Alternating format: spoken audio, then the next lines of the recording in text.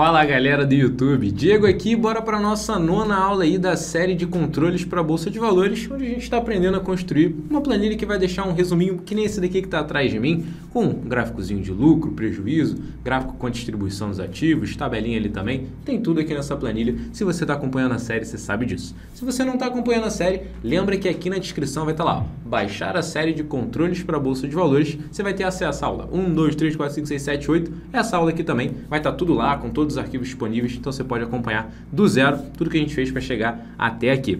Lembra também que na descrição tem a planilha da aula de hoje, que é a aula 9, vai ter lá a planilha da aula 9 também. Antes da gente começar o conteúdo, que a gente vai começar a construir exatamente, cadê meu mouse? Achei meu mouse. Essa tabela daqui, ó, com ativo, quantidade, a nossa tabela de resumo, a gente vai começar a construir no nosso controle que a gente está fazendo do zero nessa aula de hoje. Antes de a gente começar isso, deixa seu like aqui no vídeo, você sabe que ajuda bastante a gente. Se inscreve no canal, clica no sininho e me deixa um comentário aí do que, que você está achando da série, o que, que você sabe que não pode faltar e o que, que você está querendo ver aí nessa série até o final dela, que você sabe que tem bastante coisa por vir ainda. Faz tudo isso aí e bora começar o conteúdo da aula de hoje. Show de bola! Vou abrir aqui a planilha da aula 9, que é justamente a planilha que a gente terminou a aula 8, que a gente viu como a gente pega da aba Notas e joga aqui na aba Movimentações. Então a gente conseguiu criar essas duas planilhas e eu mostrei para vocês que dá bastante trabalho fazer isso na mão. O conceito não é algo muito difícil, foi exatamente aquilo que a gente tinha feito lá na aula 2 e na aula 3 que a gente reproduziu aqui. Só que é, fazer isso manualmente não é legal, dá bastante trabalho e demora. Então, o que, que eu falei? Qual que vai ser a nossa solução? A gente vai precisar do VBA para ajudar tudo isso. Só que eu já comentei com vocês como é que vai ser a estrutura da série. No começo a gente falou um pouquinho sobre conceitos de investimento, agora a gente está na parte de Excel, ou seja, fazendo todas as estruturas, construindo a nossa planilha e depois a gente vai entrar no VBA para deixar tudo que a gente viu que dá trabalho de fazer na mão, automático. Então a gente vai conseguir fazer isso daí. Mas vamos aos poucos seguindo aí a estrutura da nossa série. Perfeito. Qual que é a parte que a gente vai ver na aula de hoje? Lembrando que a gente está na parte de Excel. A gente vai criar nossa aba resumo. Então eu quero ter. Eu sei que aqui eu tenho é, todos os meus aportes, todo é, resultado, que eu comprei de ação, o que eu comprei de ETF, de fundo imobiliário, quanto eu vendi, sei lá o que, tudo mais. Só que eu quero ter isso de uma tabela e eu quero ter isso também em um, é, forma gráfica, que é uma forma muito fácil de visualizar. Que aí eu vou ter aquele gráficozinho de lucro e de prejuízo e também vou ter o gráfico de distribuição. Para a gente ter esses dois gráficos, a gente precisa de uma tabela, que é onde a gente vai ter essas informações. Então vamos começar a criar isso daí e essa tabela nada mais vai ser do que um resumo dessa nossa aba de movimentações. Então vamos lá. Clico aqui na aba, é, para criar uma outra aba, duplo clique, resumo. Perfeito. E agora vamos pensar o que, que a gente precisa para a gente chegar nesse resultado final. Só que lembra, essa daqui é a planilha que vocês estão vendo, mas não necessariamente é tudo que tem nessa aba. Por que, que eu estou falando isso? Ó, repara, vou clicar na quininha, vou clicar aqui, ó, botão direito numa coluna e vou colocar reexibir.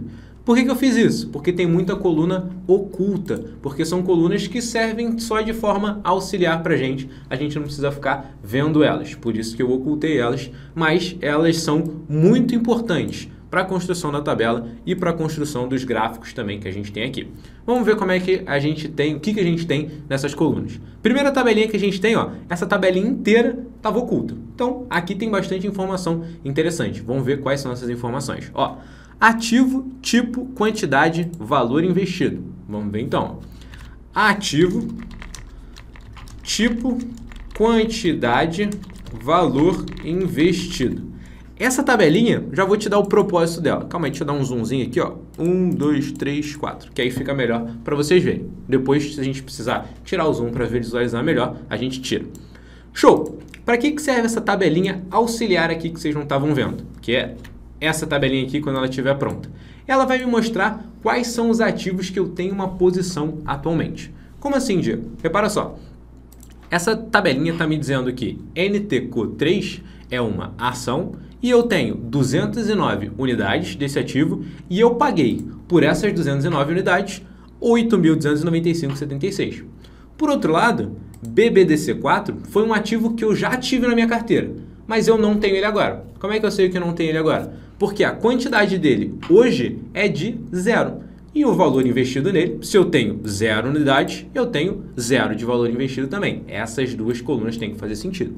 Então, perfeito. Essa tabela vai me dizer quais são os ativos que eu tenho na minha carteira atualmente. Então, ela não vai me dizer o que, que eu já fiz, quais são as operações que eu já é, abri, já fechei. Isso, se eu quiser ver, eu consigo muito bem vir aqui em movimentações, vir aqui em tipo, mudar para resultado. Ó. Resultado, cadê resultado? a ação, resultado FI, perfeito. Tá aqui, ó. Todas as operações de venda eu consigo ver qual foi o lucro que eu tive, qual foi o prejuízo que eu tive na venda e por aí vai. Mas não é isso que eu quero ver.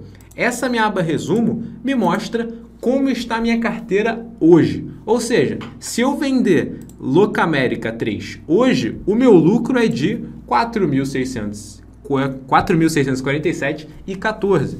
Se eu vender por outro lado ITSA 4, o prejuízo é de 118,57. Então isso daqui me dá é uma foto de como está a sua carteira hoje. Aqui tem o valor que você pagou, tem quanto a ação está avaliando hoje e aí qual é essa variação tanto em valores absolutos quanto em valor percentual. Tem tudo aqui. Show de bola! Então vamos começar a construir essa tabelinha com as fórmulas que a gente tem. E aqui já aquele disclaimer bem grande. Como vocês já viram, logo lá na primeira aula, as fórmulas que eu utilizei são do Office 365. Diego, por que, que você usou fórmulas do Office 365? Tem muita gente que tem o Excel que não é do Office 365 e por aí vai. Porque essas fórmulas elas foram criadas para deixar tudo muito mais leve e muito mais eficiente. Então, se você pode usar essas fórmulas, não faz muito sentido você não usar. Por quê? Para a gente obter o mesmo resultado que essas fórmulas têm, sem usar as fórmulas novas, a gente vai ter uma planilha muito, mas muito mais pesada e dá um trabalho muito maior para construir essas fórmulas. Então, eu particularmente optei por utilizar as fórmulas do Office 365, mesmo sabendo que muita gente não conseguiria utilizar. Mas por isso que a gente está fazendo a série também, que eu vou te mostrar qual é a ideia por trás é, da planilha e mesmo sem você ter essas fórmulas, você vai conseguir construir, porque existem outras fórmulas que fazem a mesma coisa, só de forma não tão automática, de forma muito mais lenta e também mais pesada para sua planilha, que não é algo legal de ter, principalmente quando você tiver muitas movimentações. Por isso que eu optei pelas fórmulas do Office 365. Dito tudo isso, eu vou mostrar para vocês formas alternativas de fazer, mas de novo, o foco é em mostrar como a planilha funciona com essas formas, mas eu vou dar uma dica ou outra de como vocês poderiam fazer sem ser com as formas do Office 365 também. Então vamos lá. Primeiro, vamos preencher essa tabelinha. Ativo. Como é que eu preenchi essa paradinha aqui de ativo? Eu fiz o seguinte, eu quis que aparecessem todos os ativos que já apareceram na minha aba Notas. Então eu peguei tudo isso daqui, ó, coluna I, eu desconsiderei o cabeçalho, então ó, foi coluna I, sem considerar o cabeçalho. Eu quero saber quais são os ativos que apareceram aqui e quero que eles apareçam uma única vez. Então é como se eu selecionasse isso aqui, ó, Ctrl C, vem aqui, ó, selecionei tudo, Ctrl C, e aí, como eu falei, eu não quero selecionar o cabeçalho. Então, ó, seleciona tudo, Ctrl, e aí clica no cabeçalho que ele tira, Ctrl C, vem aqui em opções, ó, opções não, desculpa, resumo, Alt C, V, V. Perfeito. Com essas informações que eu tenho aqui, todas elas, eu vou fazer o quê? Eu vou remover duplicatas, que eu quero ter valores únicos. Então, ó, dados, vem aqui em remover duplicatas, que fica em cima da validação de dados, clica aqui, continuar com a seleção atual, porque eu quero selecionar só essa daqui mesmo que eu estou é, selecionado agora, remover duplicatas, e é só a gente vir aqui ó, e dar um OK. Que ele vai pegar tudo que está duplicado e vai tirar. Vai me deixar uma única vez cada ativo. Ó. Ok, perfeito. Dois valores duplicados encontrados e removidos, três exclusivos restantes. Perfeito, ok. Duplo clique, tá lá. Dessa forma, eu peguei, sem ter o Office 365, todos os ativos únicos que eu tive ali na minha nota. Independente de eu ter uma posição neles hoje ou não. Isso a gente vai ver depois. Mas eu já negociei esses três ativos porque eles estão aqui na minha aba nota. Perfeito. Agora, como é que a gente faria isso se a gente tivesse o Office 365? Repara, vou abrir uma coluna e vou colocar aqui, ó, ativo. Como é que eu abri a coluna? Selecionei Ctrl+, mais. E aí ele abriu essa coluna ou Ctrl Shift+. mais. Perfeito. Aqui eu vou usar o Office 365 para você ver como é muito mais eficiente. Igual, único, é uma fórmula nova e tem o acento agudo ali, único. Vem aqui na aba notas e a gente seleciona a nossa coluna ticker da tabela notas. Então repara como é que ele se refere, ó, aqui em cima, lá na barra de fórmulas. Tabela notas, nome da tabela, e entre colchete, a coluna que eu quero selecionar. Tá lá, ticker. Ele vai selecionar todas as informações da coluna ticker da aba tabela notas. E a fórmula única, o que, que ela faz? Exatamente o que a gente fez para remover duplicatas. Ó, dei um Enter, repara lá, Sanepar Duke, Cache 3. Agora, viu como é muito mais rápido a gente usar essa fórmula? E uma outra coisa, se eu atualizar aqui a aba notas, se eu colocar um novo ativo, essa é a minha primeira forma, eu teria que vir aqui e incluir esse ativo manualmente. Com a fórmula único, ele faz tudo isso sozinho. De novo, mais um motivo por eu ter usado todas as fórmulas do Office 365. Por exemplo, vem aqui na aba notas, vou colocar um outro ativo, ó, ITSA 4. Dei um Enter, vou aparecer lá na aba opção, é, resumo. Repara, a do, da fórmula único incluiu ITSA 4. Essa daqui eu teria que vir manualmente. Eu poderia fazer ou ITSA 4, ou eu venho aqui, seleciono todas elas, Ctrl C, Alt C, VV, dados, é, texto, opa, texto para colunas não, remover duplicatas, continuar, remover, remover, ok. Então, de qualquer forma, não é algo eficiente, é, demora mais fazer, então mais um ponto positivo aí para o Office 365. Vou tirar a coluna, mas vocês já viram quais são as duas formas de fazer. Então, tirei aqui a coluna que a gente tinha sem a fórmula único. Perfeito. Aqui então eu tenho todos os ativos que eu já negociei e aqui eu tenho que tirar isso daqui, ó. Vamos lá. Pum, tem que tirar. Show, porque eu não negociei. E tá lá, ele já atualiza automaticamente. Perfeito. Tipo, como é que eu descubro qual que é o tipo desse ativo? Pare e pensa comigo. Eu não peguei esses ativos lá da aba notas. Aba notas. Aqui na aba notas, eu consigo descobrir qual que é o tipo desse ativo? Consegue, pô. Tá aqui, ó. Na aba notas, eu tenho o ativo e do lado dele eu tenho o tipo. Perfeito, eu posso procurar isso daqui. Eu posso procurar pelo ticker e retornar aqui o tipo dele. Show de bola, dá para fazer isso. Agora pare e pensa comigo. Se eu fosse fazer sem uma fórmula do Office 365, eu poderia usar o PROC-V para fazer isso? Não. O PROC-V, o que, que ele faz? Não sei se você conhece o PROC-V, mas ele procura em uma coluna, então eu falo para ele, ó, procura aqui para mim, é Sanepar 4. Beleza, ele achou, achou Sanepar 4. O que, que ele vai fazer? Ele vai te retornar uma informação que está à direita do, da informação que ele encontrou. Então ele poderia retornar ó, qualquer uma das informações que estão na mesma linha de Sanepar 4, mas estão à direita. Agora eu te pergunto, o tipo de Sanepar 4 está à direita ou está à esquerda? Ele está à esquerda. Então o PROC-V não funcionaria. Para isso funcionar, eu teria que utilizar uma combinação de fórmulas que é índice e corresp. E aí, se você quiser, lembra que a gente tem vídeo disso aqui no canal. É só você colocar no YouTube índice corresp hashtag treinamento que você vai ver um vídeo, provavelmente do João, te explicando a fazer o índice corresp, que aí você buscaria a é, Sanepar 4 e conseguiria retornar a informação que está à esquerda e não à direita. Como eu não vou usar o índice corresp e vou usar uma fórmula que consegue procurar à esquerda, eu vou usar a fórmula PROCX. Repara como é que ela fica. Igual PROCX, opa, que é basicamente o PROC-V, só que ele é melhorado. Ele tem, consegue fazer umas coisas que o PROC-V não consegue. Então vamos lá. Quem que eu estou procurando? Eu estou procurando pelo Sanepar 4. Ponto e vírgula. Pesquisa matriz. Aonde que eu estou procurando o Sanepar 4? Notas, aqui ó, na coluna ticker da aba notas. Perfeito. Ponto e vírgula. Matriz retorno. Aonde que está a coluna que você quer como resposta? Então, ó, se eu encontrei Sanepar nessa coluna, eu vou pegar a informação que está como resposta na mesma linha. Mas qual coluna que você quer? Qual coluna que está essa resposta? A coluna de tipo. Então, ó, vou selecionar aqui, ó, matriz retorno, vem aqui, ó, e seleciono essa colunazinha daqui, ó, tabela notas tipo. O que, que ele vai fazer? Vai procurar é, Sanepar na coluna de pesquisa e assim que ele encontrar, ele vai pegar na mesma linha a informação ali de tipo. Perfeito. Fecha parênteses, dou um enter lá, tá lá. Ele descobriu que Sanepar é uma ação.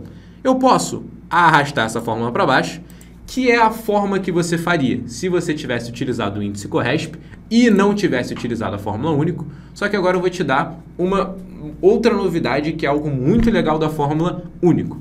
Ao invés de eu criar uma fórmula e depois arrastar para baixo e eu ter três fórmulas aqui, eu posso fazer o seguinte, ó, vou apagar essas duas. Como eu quero procurar Sanepar, mas depois eu quero procurar IDUC 3 e depois CAS 3, ou seja, como eu quero procurar exatamente essa tabelinha inteira, tá vendo que quando eu clico nela, ela fica em azulzinho, ela fica com um contorno azul? Como é que eu me refiro a essa tabelinha inteira? Dessa forma aqui, ó.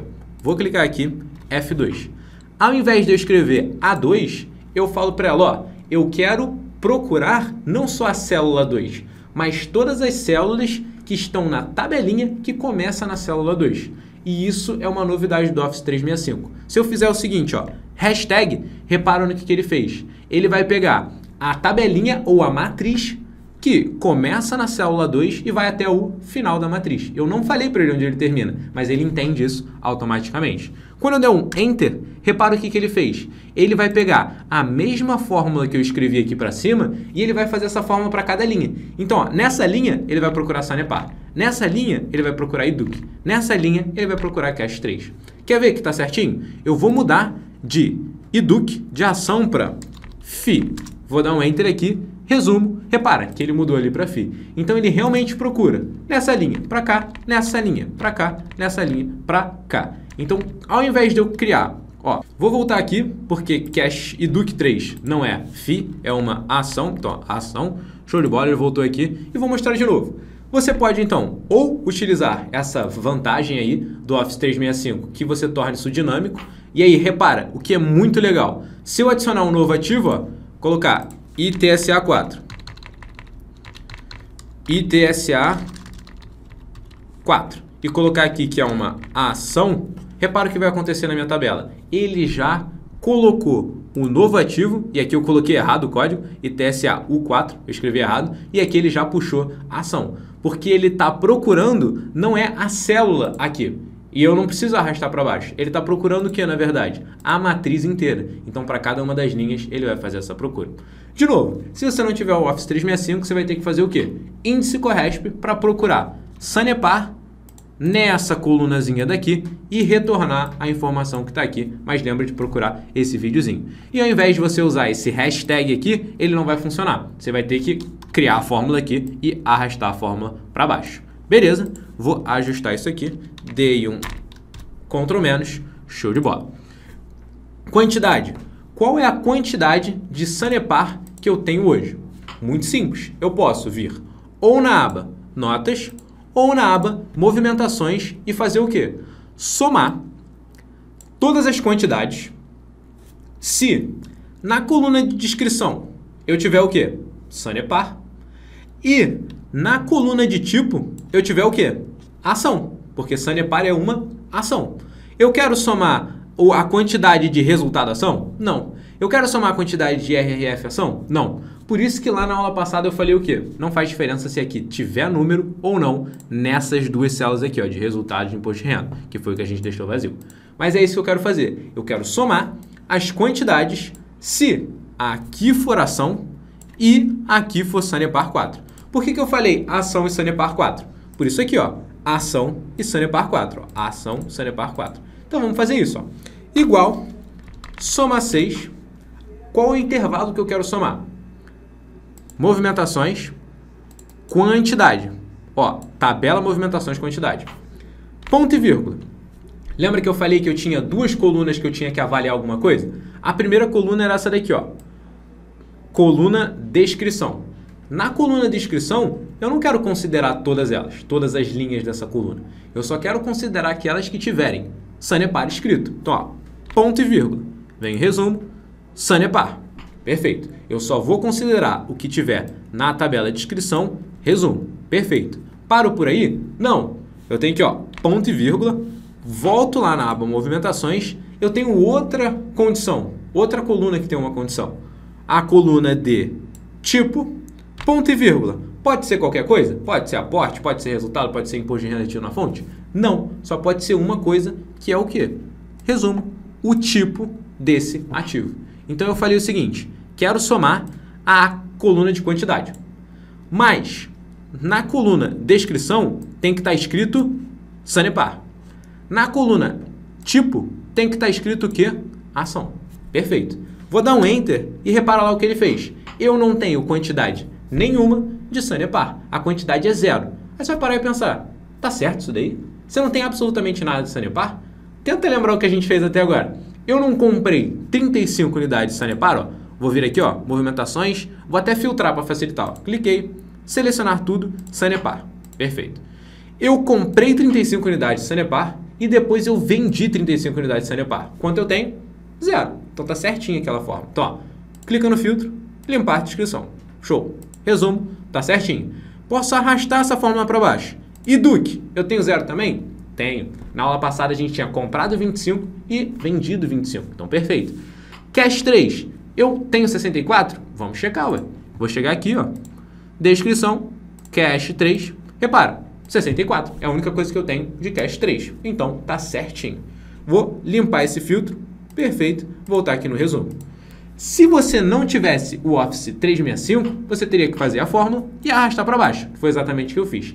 Se você tem o Office 365, faz o seguinte, vamos usar o mesmo, a mesma dica que eu te dei ali, que é a tabela, usar aquela matrizinha, o hashtag.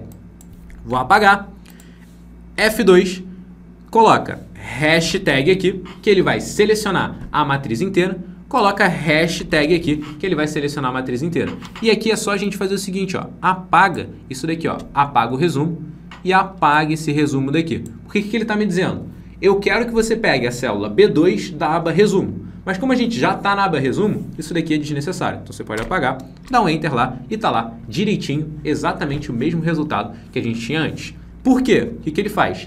Nessa linha, ele vai considerar esse ativo, esse tipo. Nessa linha, esse ativo, esse tipo. Nessa linha, esse ativo, esse tipo. Beleza? Mostrei as duas formas, sem o Office com o Office 365. Valor investido. A gente vai fazer exatamente a mesma coisa que a gente fez nessa fórmula daqui. Só que, ao invés de somar quantidade, eu vou somar a coluna de valor. Repare só o que a gente vai fazer. Eu quero somar todos os valores. Se aqui tiver escrito o quê? Ação. E aqui tiver escrito o quê? Sanepar. Perfeito.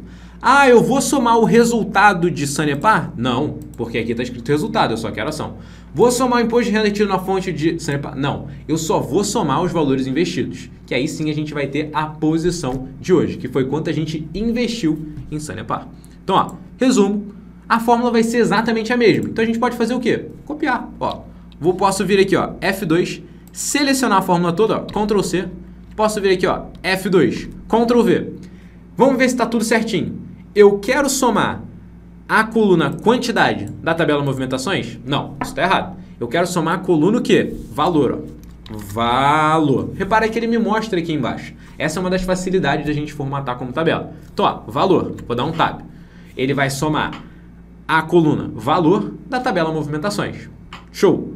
Se na tabela descrição da tabela movimentações, na coluna de descrição da tabela movimentações, eu tiver o quê? Sanepar, porque eu estou na primeira linha. E na coluna tipo da tabela movimentações, eu tiver ação, porque eu estou na primeira linha. Na próxima linha, ele vai pegar ação e Duque, depois ação e cash 3. Vou dar um Enter, repara lá, valor investido no Sanepar, zero, faz sentido. Se eu tenho zero unidades, eu não tenho nada investido. Valor investido em Duque, zero, não tenho nada investido, show de bola, perfeito. E de cash 3, valor investido, eu tenho 1.662,59. Agora pare e pensa comigo. Eu preciso que esse valor esteja negativo? Por que, que esse valor está negativo? Vem aqui e repara só. Quando eu compro um ativo, ou seja, quando eu invisto nele, o que acontece? Esse valor sai do meu bolso. Então eu tirei do meu bolso e coloquei esse dinheiro nesse ativo. Por isso que ele fica negativo. Aqui ele realmente me dá o valor é, em relação ao meu bolso. Ele me diz se está entrando ou se está saindo. Aqui, no, no, valor investido da tabela resumo, eu não preciso que ele fique negativo. Eu só quero ter um valor absoluto para a gente poder depois calcular o nosso custo médio. Que, que eu posso fazer? Vem aqui no comecinho da forma e coloca menos. Já falei para vocês que toda vez que a gente tiver um valor que absolutamente está certo, o valor absoluto que está certo, e a gente quiser mudar o sinal dele, é só a gente colocar um menos aqui e dar um Enter. É a forma mais fácil da gente mudar isso daqui. Então, perfeito. Ó, se eu chegar aqui na outra tabela, era exatamente isso que a gente já tinha. O que eu tenho aqui é uma formatação um pouquinho melhor. Vamos fazer isso então. Vou chegar aqui, vou selecionar tudo ó, e vou alinhar ao centro. Então, ó, página inicial, centralizar. Show. Valor investido, a coluna de valor, vou formatar como contábil. Lá em cima, vou deixar negrito. Então pronto. Opa, coloquei itálico, mas vou deixar negrito. Perfeito. E agora a gente tem a nossa tabelinha que vai servir como base para a gente criar aquela tabelona com várias análises, mas muita coisa parte dessa daqui. Então, feito isso, a gente finaliza aqui a aula de hoje e a gente já pode prosseguir isso daí a partir da próxima aula. Espero que tenha gostado, tenha pegado aqui todas as análises que a gente fez e entendido o porquê do Office 365 ao invés de usar as formas antigas, mas que também é possível fazer tudo que a gente faz no Office 365 nos é, Excel antigos. Dá para fazer sim, só dá um pouquinho mais de trabalho, mas eu sempre vou ficar te dando essas dicas para você ver como fazer também. Então, de, lembra de deixar o seu like aqui no vídeo, lembra de se inscrever no canal, clicar no sininho para você não perder nenhum desses vídeos super legais que a gente está colocando para você todos os dias aqui da semana e me deixa aqui nos comentários. Primeiro, se você chegou até o final, que é muito legal saber que você assistiu do começo ao fim, eu fui do começo ao fim, é muito legal saber que você também foi. E também me diz o que você está achando da série aí até agora. Me diz a sua primeira aula, quantas aulas você já assistiu da série, me diz isso aí que eu quero saber, quero ter essa interação contigo. Faz tudo isso e te vejo lá na próxima aula.